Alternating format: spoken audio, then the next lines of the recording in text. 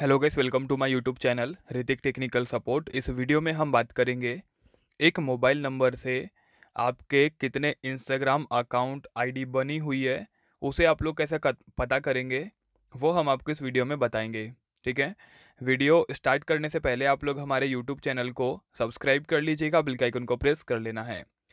First of all आपको open करना होगा अपना इंस्टाग्राम देन इंस्टाग्राम ओपन करने के बाद नीचे आपको जो प्रोफ़ाइल का आइकॉन मिलेगा, इस पर आप लोगों को क्लिक करना होगा। क्लिक करने के बाद ऊपर टॉप पे आपको थ्री लाइन मिलेगा, इस पर क्लिक करिए।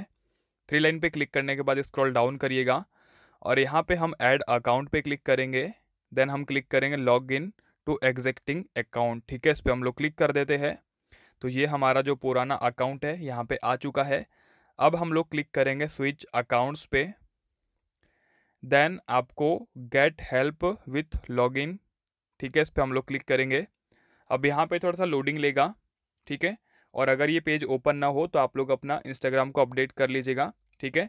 अब यहाँ पे हमें बोला जाता है यूज़र नेम ईमेल एड्रेस और फ़ोन नंबर तो यहाँ पे आप ईमेल आईडी से भी पता कर सकते हैं कि आपके कितने आईडी बने हैं उस ईमेल आईडी से और फ़ोन नंबर से भी।